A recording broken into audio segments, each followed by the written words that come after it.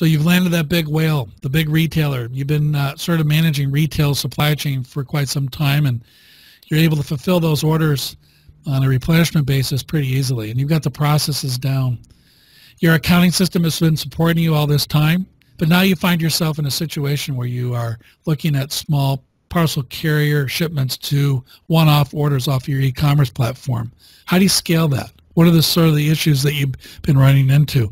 Well, from my point of view and what I've seen over the years are small businesses want to sort of leverage everything they can out of their accounting software package. And one thing that comes to mind is actually looking at add-on software that actually allows you to manage the processes for small parcel carrier with your small customers over your e-commerce platform, along with a shared inventory, if you will, uh, that allows you to manage that inventory for your larger customers and your smaller customers without disrupting your service level agreement.